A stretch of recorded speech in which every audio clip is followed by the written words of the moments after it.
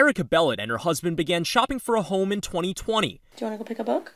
Four years, two babies, one dog, and eight rejected offers later, they are still in a rental. I don't think that we anticipated five years into our marriage we'd still be renting. They want to stay near their suburban New Jersey town. Their families are close by, the drive to work is short, but The prices of the houses, plus those high interest rates, really make it just unrealistic to be able to afford what it will cost you monthly to own a house. A new NBC News homebuyer index shows across the U.S. since 2022, it's been harder to buy a home than any other period in the last decade. The index accounts for factors like median home sale prices, which over the last year are up 6%.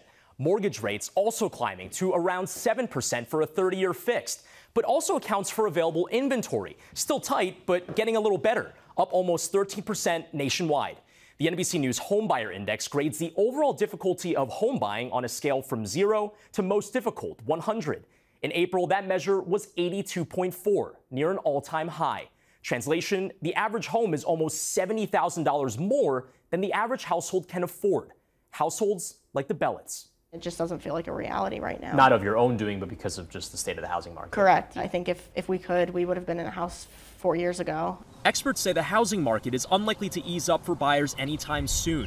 Forecasts predicting mortgage rates will likely remain close to 7% through the end of the year, Oh, you want to hold my hand? leaving potential buyers waiting even longer for that dream home. Brian Cheung, NBC News, Lincoln Park, New Jersey.